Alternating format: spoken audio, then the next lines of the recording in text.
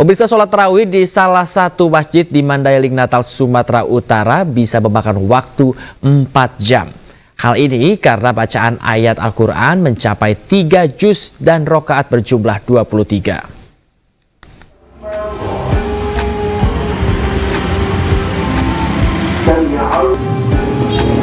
Ada yang berbeda dalam pelaksanaan sholat tarawih berjamaah di salah satu masjid di Mandailing Natal, Sumatera Utara. Di Masjid Raya Kuro Wal Hufaz, pelaksanaan sholat tarawih bisa berjalan cukup lama.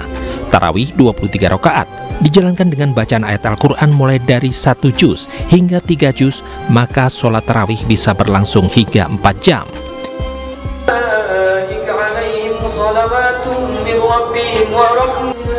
Imam yang memimpin jalannya sholat taraweh pun biasanya lebih dari satu orang, bahkan bisa mencapai lima imam yang bertugas bergantian selama jalannya pelaksanaan sholat tarawih. Karena berlangsung cukup lama, sebagian jamaah beristirahat sejenak. Berapa jam lah itu? Di sini 4 jam. 4 jam. jam. Imamnya sampai berapa banyak? Bang? Imamnya sampai 5 orang. 5 orang. Berganti-ganti itu. Berganti. Bang ini biasa menghabiskan berapa jus lah satu malam?